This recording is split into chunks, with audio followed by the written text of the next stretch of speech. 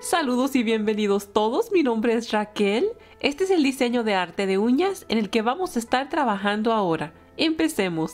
Para este diseño voy a estar utilizando este pincel planito. Voy a sumergir la mitad en el color negro y la otra mitad en el color rojo. No voy a repasar mi platito porque el color negro es muy dominante, entonces nada más poquitas palmaditas. Ahora voy a empezar a pintar mi primer pétalo. La flor decidí pintarla nada más en dos de mis uñas. Entonces nada más con puras palmaditas estoy formando cada uno de los pétalos yendo hacia el lado redondeándole un poquito para el segundo pétalo. Y ahora para el tercer pétalo voy a redondearlo yendo hacia el rincón del lado de mi uña. Como esta flor va a ser de lado hacia el centro de la flor, voy a empezar con las palmaditas, yendo hacia el lado, uniéndolo con el último pétalo que pinté. Empezando en el rincón del primer pétalo que pinté, voy a empezar con las palmaditas llegando hacia la mitad de la flor. Y de nuevo voy a repasar el pétalo de lado, uniéndolo de nuevo al último pétalo. Ahora es tiempo de delinear cada uno de los pétalos y estoy uniendo la línea con los pétalos hacia los lados para que se vea como que la flor está redonda todo alrededor. Entonces nada más voy a continuar delineando cada uno de mis pétalos.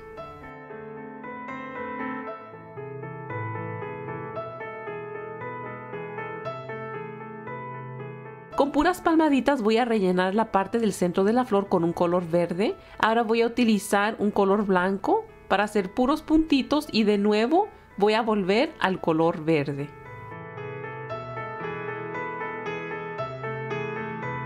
Hacia el lado de la flor voy a hacer una línea en color negro y cruzar una segunda. Voy a hacer exactamente la misma cosa por la área de arriba. El centro de mis cuatro líneas voy a hacer una línea de puntitos negros. Hacia el lado me voy a aplicar un esmalte claro para que se haga pegustiosa la área y así puedo fijar tres cristalitos.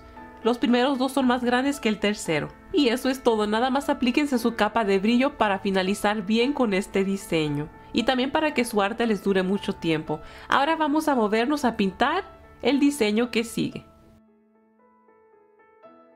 Para este diseño, después de haberme pintado un diseño francés en color beige, estoy haciendo una línea negra yendo hacia arriba y otra yendo hacia abajo. Y quiero que las dos tengan la misma gruesura, entonces aquí nada más estoy repasando la segunda línea una segunda vez.